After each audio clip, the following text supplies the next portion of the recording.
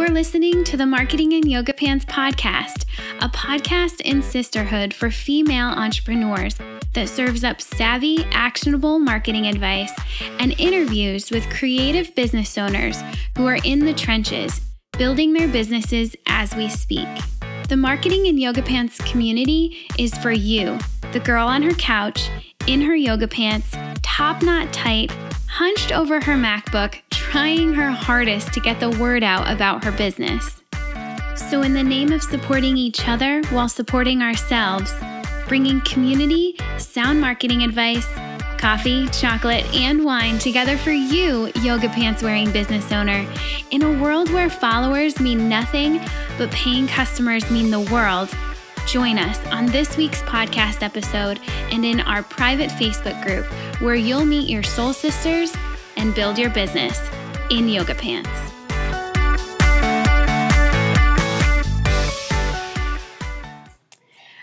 All right, welcome back to another episode of the Marketing in Yoga Pants podcast. I'm Brit Kolo, and I'm here today with Kristy Rice, founder of Momental Design. Thank you so much for joining me today, Kristy. Well, thank you for having me. So this one's a little different. You might notice in the audio. You may, uh, I don't know if you're watching this on YouTube or the video. You definitely know this is a little different. We are doing a live podcast episode here, recording live. We've got a small audience uh, of a few of our members in our local chapters, Rising Tide Society. They're here. They're hanging out with us. Uh, we've got some of the our the members' kids in the background. They're kind of hanging out with us too. So this is going to be a fun one. Um, but I am uh, interviewing and speaking with Kristy today to get an insight into her business, what it's been like to grow it and build it, and what she's what she's got her hands in right now. So I'm so pumped to have her here, get some insight into all of that. So Kristy, you ready to jump in? Sure. Awesome, let's do this. So first of all, tell me about how you earn your living right now. Okay. Um, big question. I know. question. Okay, so I am the founder of Momental Designs, uh, which began in 2003, and it grew from just me at my dining room table to now we have nine employees full time um, that work for us. And so that is definitely my bread and butter. That is that's where it's at. Um, so we create hand painted stationery. We work with couples all over the world primarily. Um, we do have a local following, but it is small. So, um, and we do, um, you know, special event stationery for sure, weddings, you know, um, that kind of thing mostly. Uh, but we do commissioned artwork. Um, we do branding for small boutique style businesses. Um, now, on the more personal side, uh, I do licensing, artwork licensing and licensed with a bunch of different brands. I'm actually about to sign on with an art rep to kind of get more work in that in that avenue of things. Um, and I'm also an author, so um, I just revealed the cover of my eighth book with Schiffer Publishing yesterday. So that's kind of fun. Yeah. That's super fun. That's that's exciting, and I uh, I love going into these interviews not knowing a ton about the person I'm talking to. Uh, I kind of have an idea, but I love to know. I love to get it firsthand. So, and I kind of gathered that you had some books under your belt, but that's super exciting. I really want to dive into that. So, all right. So, being that really design is your thing uh, and you're running this business, lots of things going on. I mean, nine people on your team, that's yeah. a lot of people. Uh, so tell me the story of how you came to do this with your life. My goodness. Well, I think my story as a stationer is pretty much like a lot of others, where, you know, I was getting married in 2000 and I wanted something different for my own stationery and I couldn't find it. I think we've all heard that story um, from other stationers, but it's the truth. You know, that's where a lot of great ideas come from is a, just a, a lack or a need for something in the marketplace. And so that's where it really started. I created my own stationery and I would never show it to you right now because it's so bad. It was bad. I loved it back then, but it's bad. um, uh, I created my own stationery. I really loved doing it. Um, after my wedding was over, it was a way for me like i didn't have the like post wedding blues like a lot of brides do like what do i do now i'm bored i don't have diy projects anymore i didn't have that because i had started doing the stationery for friends word of mouth at that point it was very very localized the work that i was doing uh, my original goal when i started was to be known in Northeast Pennsylvania and New York as like the stationer. That was my goal. And I had never thought globally at all. Um, but I built my own website from the get go. I didn't have enough money to invest in even a couple thousand dollar website. I just didn't. Mm-hmm. And so I built it in a very antiquated program that doesn't even exist anymore Microsoft Front Page. Oh, yeah. Yeah. but I learned how to code and I learned all of that fun stuff, which to this day is still extremely helpful. And I started getting hits from all over the country and the world. Um, I was showing up in organic searches very quickly. Um, I figured out SEO and I just kind of made that all happen. And so, what went from a very like localized dream quickly turned into kind of this like nationwide dream that I didn't even actually dream for myself. Like I didn't think it was possible. Um, you know, so this was back in like 2003, 2004. Um, and so I just kept going and I kept taking the work that was coming in. I was working full time as um, a manager at Bath and Body Works with the Limited Corp.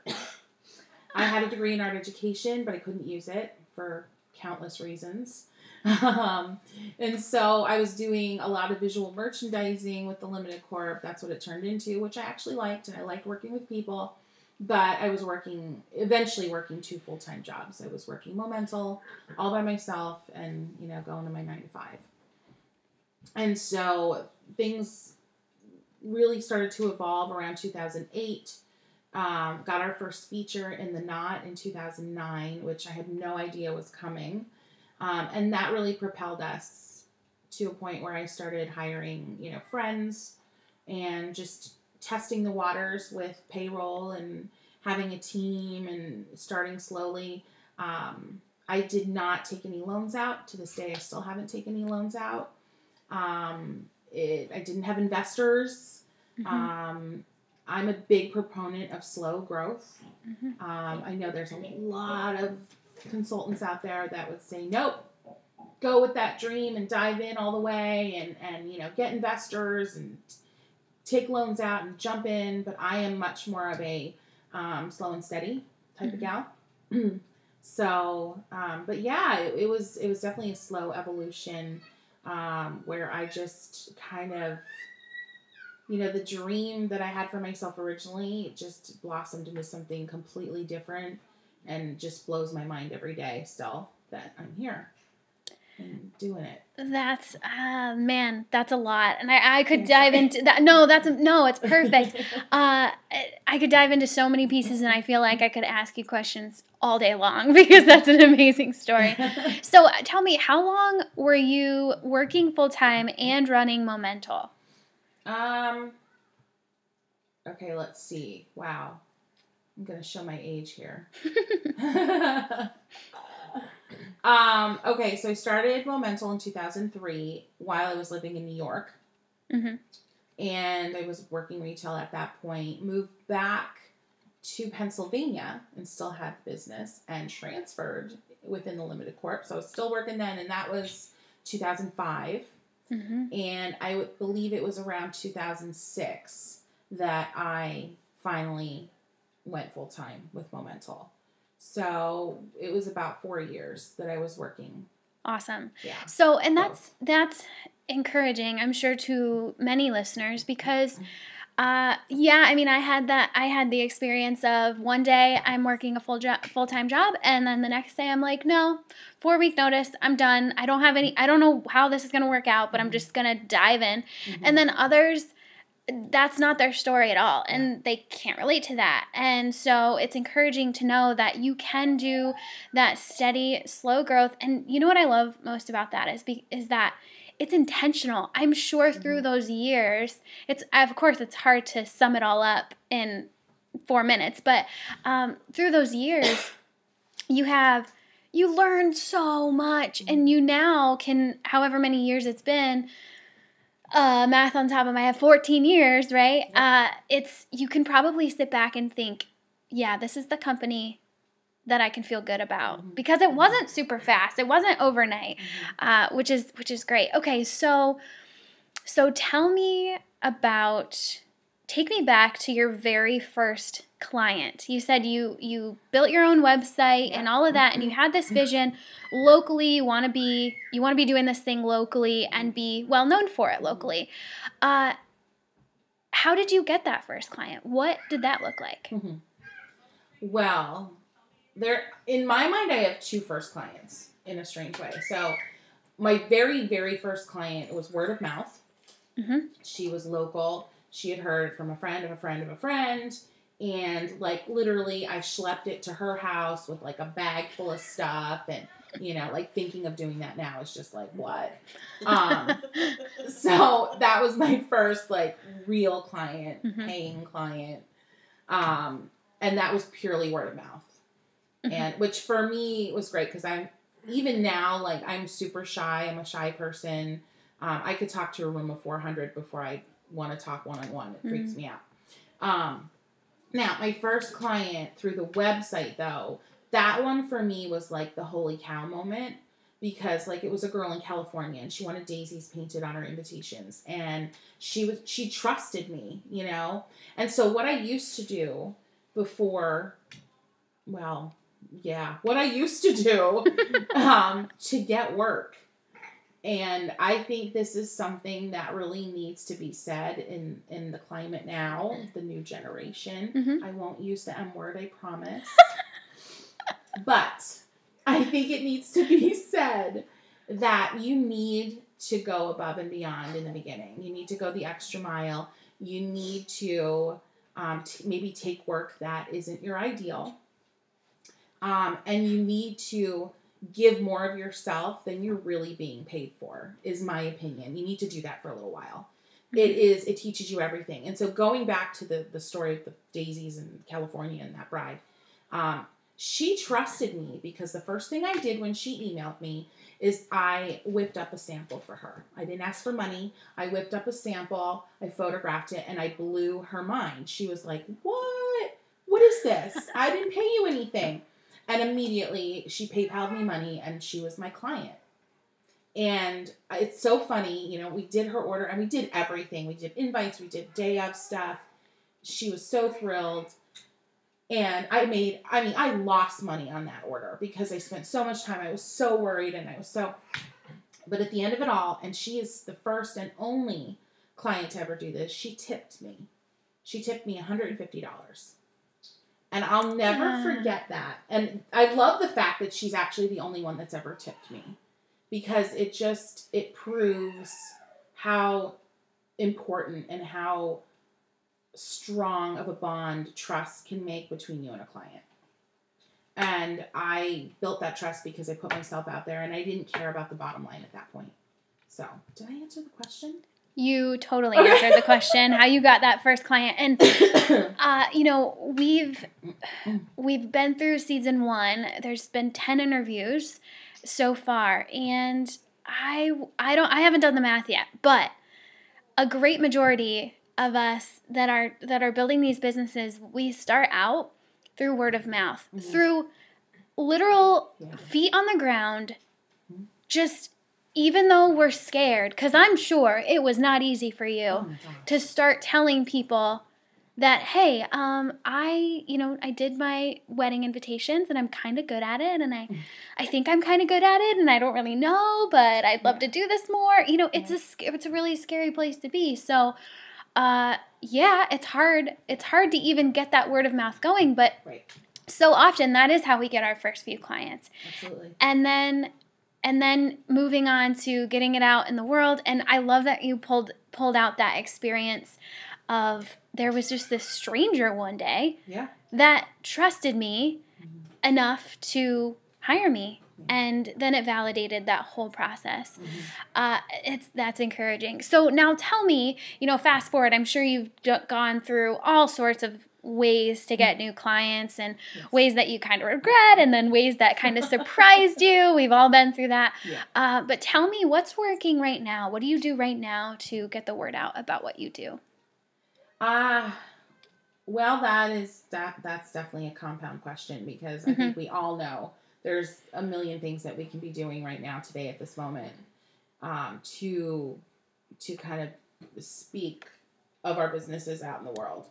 Um, I think so. Something that I started, and this could kind of segue into the whole authorship thing, but um, I've done it all. I've done, and I still do. I, I do um, every year. I choose a couple different um, blogs. Mhm. I, you know, become part of their directories, or I do a sponsored post. Just, you know, I just like to dabble with that kind of stuff and see what works. And Mhm. and honestly, they all have value. They really do. And I'm not just saying that because I do a lot of editorial and I want them to pick me up. I'm not just saying that. like they really do. The blogs out there are working their butts off to make sure that, you know, the vendor listings are really a return on our investment. So I love that. I do Mhm. love that.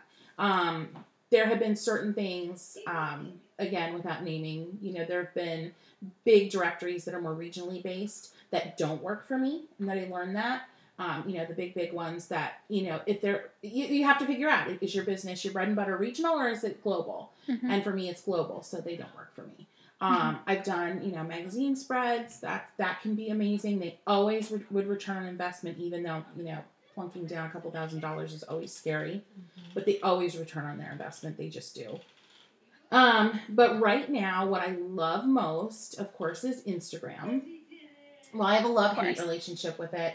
Just did a shoot yesterday with a bunch of gals, um, and we had like a complaint session about Instagram. and like, and then what's this? The shadowing thing. This hashtag. I was what? What the heck is that? I- don't even understand. But anyway, I love Instagram. I love Instagram, and I love um, developing content that is immediate. It's it's it's in the moment, and it's real. And you know, sometimes sometimes I'm planning content weeks out, but then there are days where I do something and I just put it out there, and somebody responds to it, and I get an email and I book a client. You know what I mean? So I love the immediacy of Instagram Mhm. um, so much. So Instagram's huge. Okay, that's that's great. Uh, so tell me how the the publishing of books plays into this whole story. Sure, absolutely. So um, going back to like 2009, I planned two shoots. I kept seeing everybody do these styled shoots, and I'm like, well, I can do that. I'm not a planner, but I'm an artist. I am very visual, and I used to do visual merchandising. I can do this. So I wanted to do it, and I did. Mhm. And let's fast forward like five years. I kept doing them and getting, you know, submitting them and getting them featured, and it turned into a real like grassroots kind of advertising for me. So I had all these editorials under my belt. I mean, I even I started traveling. If I'd go on a trip, like my husband and I went to Italy in 2014 for three weeks, I did a shoot. I'm like, well, I'm gonna do a shoot. I'm there. Right. It was in Destination I Do. It was on the cover. So it turned into advertising for me. But then it turned into a book. Mm. Hi, baby. That's my little boy. He's very excited to see me. Sorry. no, it's all good. um, so uh, the the book that I started designing, The Painter's Wedding, which we just revealed the cover yesterday, was kind of a um, it documented all the shoots that I've done in the past eight years. Um, so it's all it's all about staying relevant. And if you have relevancy, you have people's ears and eyes.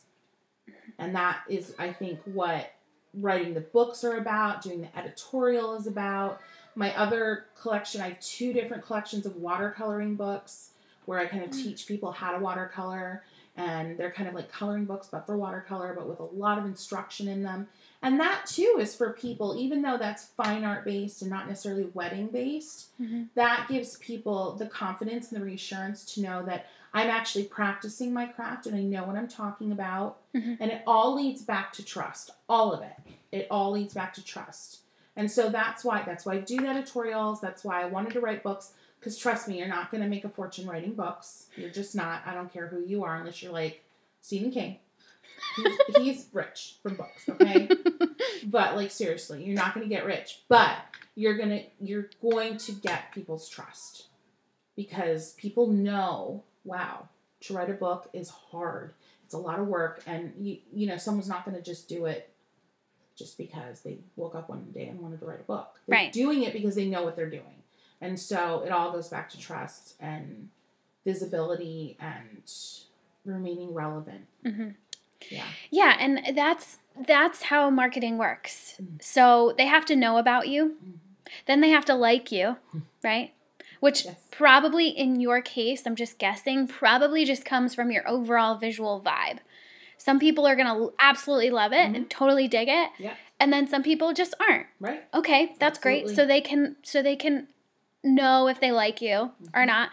And then you've been saying it over and over, and I'm so glad because that is the key. I, I have to be honest. Like if, if I had to if I had to dumb down, not dumb down, but really narrow down exactly where marketing is taken from okay, it's happening to wait, it's actually working. Mhm. It's when that trust factor Yeah. comes in. And of course, you've done that in many, many ways, having over the years had so many clients. I'm sure so many happy mm. people, satisfied people, reviews, help with mm-hmm. trust. But now you're taking it to this content marketing incredible level. I mean, just like out, totally out there. Like, this girl is so legit. She has eight books. Eight. Eight Yeah, books. that's crazy. Like, come on. I mean, yeah, so obviously people are going to want to work with you because, yes, she knows what she's doing. So, of course, it doesn't always, like you said, slow and steady. Mhm. When you first started out, you probably, now tell me, like, would you ever have thought that you would have written one book when you first started out? No. No. I remember going to. Um, I'm a long time uh, engaged. The Engage summits. I'm a. I attend those over and over and over again. Um, they're like a second family to me. And I remember going to the first one in 2008. And I promise this relates. And Sylvia Weinstock was there. And she was, she, it was like an Oprah moment. She gave everybody a pre release copy of her Sensational Cakes book. Um, I think Mm. that's the title of it. I hope I got that right. And I remember like having this glimmer, like, oh my gosh, like a wedding industry person can write a book. But then like it flew out of my Mhm. head, and so there was a glimmer of something, but I never, never, never dreamed that I could figure out how to do it, and I could Mhm. figure out, you know, all of it. So, yeah, it's it's just wild. Yeah, you never know what's you never know what's coming. That's that's awesome. Okay, so let's shift gears and talk about the work that you're doing right now. Uh, what where's your focus at? What kind of projects do you have going on? Okay, so let's see. So I've kind of alluded to it. I have a team of nine. So I made a transition, and I promise this relates. I made a transition um, from working in my business to working on my business in 2014. Um, I had been trying to get there for many years before that. Um, but finally in 2014, for a variety of reasons, it happened. Um, so my days in the business look very different right now than they used to. Mhm. Uh, my team, um, you know, every year we improve the quality of our projects. Um, we seem to attract the kind of clients that we're really good at servicing, Mhm. that really just work with us and we have excellent chemistry with. Um, you know, we're working on a couple VIP projects right now. They they aren't always around. You know, we've done celebrities, but we don't do them every year. Um, so you know, the team is just a well-oiled machine. And trust me, we get knocked down still though. Happens all the time, unfortunately. Mhm. We're always shocked. We're like, how did what? How did we not ever have this happen before? Anyway, um, so the team is just like kicking butt, taking names and doing their thing. They're amazing. But what that allows me to do is to work on all of my little side projects. And so, um, still editing The Painter's Wedding and working on that. Um, I'm going to be marketing my first two watercoloring books from the Kristy's Cutting Garden series right now. Um, getting into licensing my artwork a lot more. Um, what else am I working on? um, editing the next two copies, the next two in the series of Kristy's Cutting Garden, because there's four. Um, so lots of books launching in the fall and winter. Um, and my publisher doesn't know it yet, but I'm working on a couple more book pitches because I really like writing books. It's really fun. Yeah. Yeah. So a children's book I have in in my mind, and um, kind of a creativity journal type thing. Yeah. Ooh, I like that. Mm-hmm. Creative. Ooh, wow. All of it is I, I want in on the watercolor thing mm-hmm. and I want I want in on all of it. But creativity journal. Yeah. I like the sounds of that yeah, a lot. That. Okay, so this is going off a little bit on a tangent, but I'm really interested to, I have two questions. I'm really interested to know being that you are obviously immensely creative. Mm-hmm. How do you get the work done? Like, how do you sit down and get the work done? Because I know that as creatives, mm. I've I've heard it. I deal with it all the time. Uh, sometimes it's like big big ideas, and then actually executing on them is definitely a struggle. So how do you do that? Yeah, I think you're right. There's absolutely no shortage of ideas out there. Mm-hmm. We see it every day from the people we follow on Instagram. You know, people are launching stuff left and right, and just because you're launching something doesn't mean it's actually being executed. Let's just be honest, okay? Yeah. so I think there, there's a huge bridge between having that epic idea and actually being able to um, execute and execute it well. Mm-hmm. Uh, and it's hard because as a creative brain, you know, like like you know, this past week I was getting ready for a huge shoot, and you know, I got a shipment of flowers for the shoot, and all I wanted to do was paint peonies. I didn't want to plan for the shoot. I didn't want to make lists. I didn't want to do shot lists. I wanted to paint peonies. But I couldn't, you know? So, all that being said, I think the really, the most important thing to do, and this is something I tell people when I go to engage conferences, you know, when they ask me, like, how do you get stuff done? How do you mm-hmm. do it? when you have that idea, you can't just sit on it. You have to, and one thing I do, my stupid apps, my notes app in my phone, like I don't have anything fancy, just the one that comes with the phone. I have a brain dump tab, Kristy's brain dump. The first thing I do when I have an idea is I put it in there. Mm-hmm. And I promise myself on a weekly basis that I go into my brain dump and I actually do something actionable on those items. It can be small, it can be a phone call, it can be researching something that I don't know that I need to figure out. Um, so I think the big thing is getting it down and then scheduling time to act on your brain dump list. Mm. It sounds so easy and like, oh, I should just be able to remember to do that. I don't need to schedule that. No, schedule it. And so, you know, and then you can step up from there if every week for a couple of weeks you're consistently acting on that list, then schedule an hour a week where you're going to dedicate it to one of those items, not just a couple of items and have things scattered everywhere. Um, so I think it's just pure planning and consistency and having, um, you know, just having that wherewithal to to focus on that list and actually do something about it. Yes. You know? Mm, yes. Even if it's just again, going back to these conferences, we've all been to workshops and conferences. When I come back from them, I have a list of at least 10 things that I promise myself I'm going to act on within two weeks of returning home. Mm. And that has been huge help for me. So you can apply that to your big epic ideas. Mm-hmm. You know, if you have this list of ideas, promise yourself that within two weeks of having your idea, you're going to do a couple of things to propel you forward in that idea. I I like that you're bringing it back on yourself. Sometimes I think, you know, we we want to use Asana and yes, everybody knows I'm a huge proponent for Asana. It just works for my brain. I love it. I love task li- task lists. Mm-hmm. Although I'm creative, I'm still type A too. So, you know, it's going to get done in Asana. But uh but there's this underlying personal accountability mm-hmm. you know not waiting not waiting for somebody else to tell you to do it right mm-hmm. we're entrepreneurs we went out to do this thing on our own right so at the end of the day who do we have to to uh, answer to absolutely the great thing about that is the answer is ourselves and the tough part about that is that the answer is ourselves yeah so at the end of the day we got to hold ourselves accountable we mm-hmm. got to do the work. And that, yes, I'm I'm so glad. Okay, so my my other tangent question is you're running a business that is very physical. You have actual Mm-hmm. physical products that you're shipping out. So you are not only building a team of nine people, that's hard enough online, finding people all around the country or even the world to fill the positions you need. Mm. How do you fill the positions that you need locally? Because, I mean, if you guys don't know this yet, listeners, we kind of live in the middle of nowhere. So, so Yeah. how do you, you know, does it come down to just really good networking? Does it come down to really good training? How have you done that? Yeah, it's uh, it's definitely training. Mhm. Absolutely. Um, I think you know there were years where we had a tremendous amount of turnover.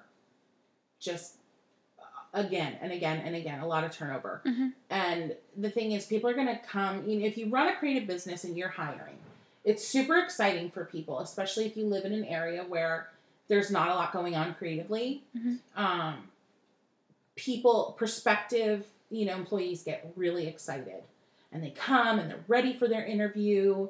And I mean, I remember once I had a gal that came in for an interview, and I did. I actually ended up hiring her.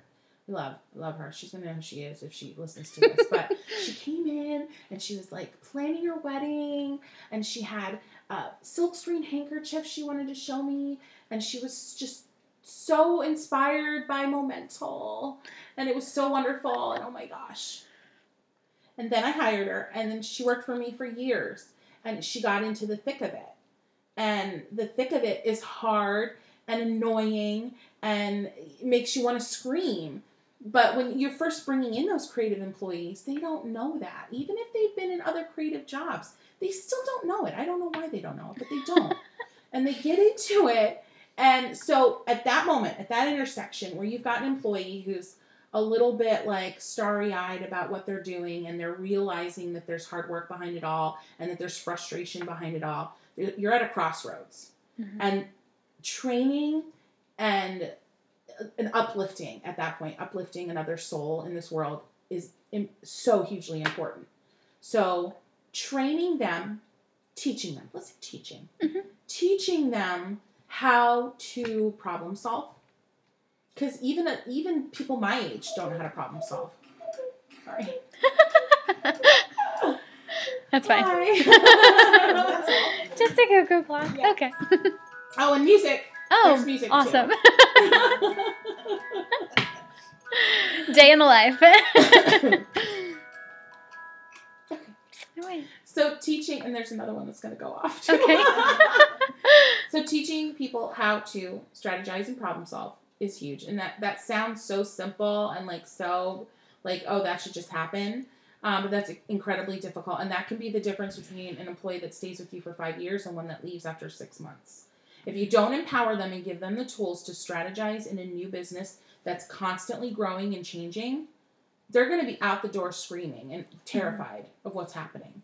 You know, I've had employees with us who were there with us and still are, but they were there with us through the crazy times where things were just falling apart around us every moment because we were building something completely new. There wasn't benchmarking research to help us. There weren't other people hand painting invitations exclusively. There Mhm. weren't other people giving the level of service that we were giving at the price point we were giving it. So we were figuring out process and pricing and strategy, and it sucked. it was hard. And so, like, I could have lost a lot of those people during that time, but I kept them excited and motivated about what they were doing and what they were building, and that it was new and no one else was doing it. And that kept them going. And that, again, goes with morale and just treating your employees well, um, helping them experience kind of the, the thrills that you experience as a, an owner. Let them experience those thrills and ups too. Mhm. So, yeah, help? Absolutely, yes, absolutely. Uh, I, I would think that it would be difficult, and I think that that would probably be uh, a hurdle that would be scary to overcome, especially if you're not coming from an overly creative, um, s- s- you know, town or, or Mhm. place or city or, or or wherever you're at. You know, don't let it hold you back. I mean, I, honestly, if you knew, if you know anything about where we live, like you could have easily let that let that hold held you back like hold you back way back then. Yeah. um and and but you didn't. And then that's how you were able to grow it to where you're at now where you're saying like now i have the support behind me so i can go do my fun little side projects and Mhm. see where it leads. So that's that's encouraging i think for I think everybody too, it's also, and it's not even, and not to criticize what you said, it's not just about letting yourself be able to do the fun little projects. That's part of it, and that's cool, and that's a perk right of being a business owner. But one thing I learned, and I learned it the hard way, is that, you know, from 2003 to 2014, I was like a flamingo with my head in the sand. You know, Mm. I was working in my business. Do flamingos put their head in the sand, or is that a, no ostriches? I don't know. i don't know but i get sand. it I had my head in the sand um, because I was working in my business so much. I couldn't see. I couldn't see the big picture stuff. Mm, You know, I couldn't see like in 2013 we had the biggest client ever, probably that we will ever have, and I'm fine saying that. We worked with Sean Parker on his Big Sur $10 million wedding. We did everything for him for paper and all that. Um, and I only say that number just so people understand the scope of it. I'm not saying that for any other reason. I had my head in the sand. I was so focused on that project. I was so worried about making sure I didn't lose money on that project because big projects are the easy ones to lose money on. mhm. Um, and that project ended in June of that year. My fall fell apart. Mm. I my business in that that fall of that year was horrific, horrific, because I was trying to do everything, even though I had a team behind me. I was trying to do everything, and I neglected building my fall roster. So it's a perfect example of how um, fostering a team is not only important so you can actually live and have a full life, but it's important for the health of your business on a big picture level. Yes. Amen. Thank you so much for clarifying that. I oh, it's so good. Okay. So I want to lighten things up a little bit and ask you just some quick easy questions. Okay. Okay. So, first of all, what's your absolute favorite business tool that you're using right now? Silence. oh my gosh, this is gonna be so ridiculous, but it is my favorite. Okay, so what I do a lot of videos and time lapses uh, for Instagram. There's this little tool that you put on the end of what are they called? The little bar that goes straight across from your tripod. There's a little tool that you twist in and it holds your iPhone so you can do the perfect flat lay shot. That's my favorite tool. Ooh, all photographers are understanding this. I know. And I'm, like, I So don't. like you know you see people like I'm sure you follow artists on Instagram and they're like painting and it's like the camera's oh. perfectly Oh. hovered above their painting. Yes. Yes. And it took me like two years to figure out this setup. But that little tool, you get it on Amazon and you screw it into the little boom bar and perfect setup. Awesome. All right, we're gonna have to we're gonna have to link that. And no, that's important because it's so silly. hey, some of us, yeah, it's I, so silly. I have three of them. I have one here, I have one in my Utah house, and I have one at the studio because I love them so much because I can get such great content easily with that stupid little thing. I love it. Okay, so tell me, are you an introvert or an extrovert? uh, I'm an introvert. Me too. Yeah. I am. Cool. Uh, Mm-hmm. early bird or night owl? Night owl. Really? Ooh, okay. Definitely. All right, tell me I'm interested to know this one. Where do you where do you find your flow in your work? Where it's really just clicking and hours just fly by and you are just in your zone. Where is that? That's painting. That's um, you know, during the growing season when stuff's just shooting up out of the ground everywhere and I can't pick the flowers quick enough and all I want to do is paint. Um, because when I'm like in that zone painting, everything else grows from that. Everything, even on the entrepreneurial side, grows from that. Because that's my core.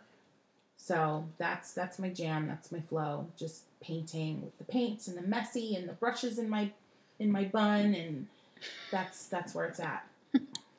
That's so fun. Okay, so one last question we've got to end with I want you to look back to 2003 when you're when you're just starting mm. out, you're that girl sitting on her couch hunched over her PC because you're not a MacBook user. PC, PC trying to figure all this out. We had that conversation yeah. early. Uh, trying to figure all this out. What would you say to her? I think the number one thing I would say to her is don't try to do it alone. Mm.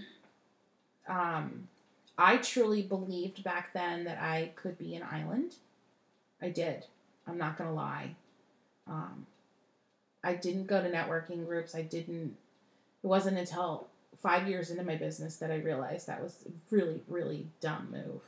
Um, I was out there. I, I knew because of my research. I knew that I was creating something brand new. Mm-hmm. I was creating that whole new market. Mm-hmm. And I'm not saying that to brag, but no. I really was. There just wasn't anything out there like it. Mm-hmm. So I think I felt very isolated in that, and I felt very alone, and I just sunk into that um, and I wish that I had reached out and found a community. Well, help. I cannot imagine a better way to end this interview and this season of the podcast, being it's the last one of season one. And that is what we're all about. Mm-hmm. That is the marketing in yoga pants brand, community, movement. Eh, that's what it's all about because building a business is so can be so isolating Absolutely. and connecting with people whether whether you're whether you're really working on stuff or not just connecting with people that get it that just get it and and understand what it's like to be that girl on her couch just trying to figure stuff out um, I, I cannot think of a better way to end. So thank you so much for that. I, re- I really that was not scripted. I really swear wasn't. it was not scripted. Um, okay, so before we go, can you please tell the listeners where they can find you online? Oh my gosh. Okay. So, um, momentaldesigns.com. It's the word moment with an A-L on the end, designsplural.com. Um, I made the cardinal sin with my business name because it's easily mispronounced as monumental but it's Momental. Mm. uh, Instagram is at Momental. Uh, also, I have a, a, an account where I'm somewhat, well, no longer. I was kind of anonymous on this account, but I'm not any longer right now. um, it's Keep Your Nose to the Grindstone, and it's um, it's a uh, an account where I just kind of pontificate on my ideas about business and entrepreneurship. And Ooh. I juxtapose that with really pretty artwork. So I get to be really snappy in my words, but pretty in my artwork. Yeah. and there's also Kristy the Painter on Instagram. And of course, there's a Momental Designs Facebook page and Rice Ink on Twitter. And is there anything else? No, I think that's it. Okay, well, you heard her, girls. Go check her out, send her some love, and then hop into our private Facebook group to hear even more from Kristy over the next few days. Yay.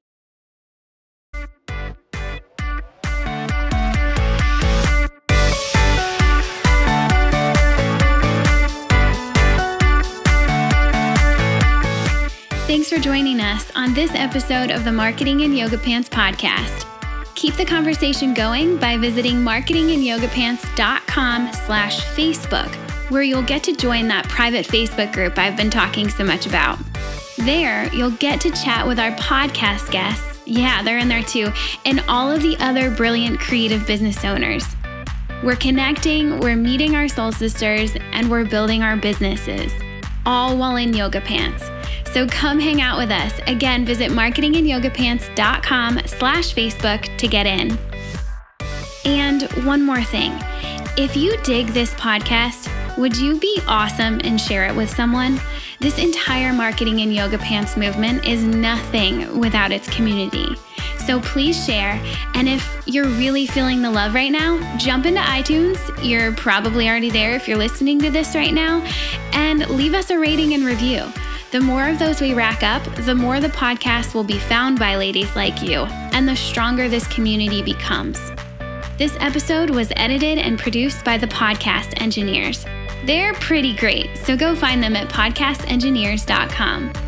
This episode was also brought to you by my online marketing agency, Jam Marketing Group, and you can find us at jammarketinggroup.co. That's all for now. Thanks for listening, and I'll catch you back here next week on the Marketing in Yoga Pants podcast. Love ya. Bye.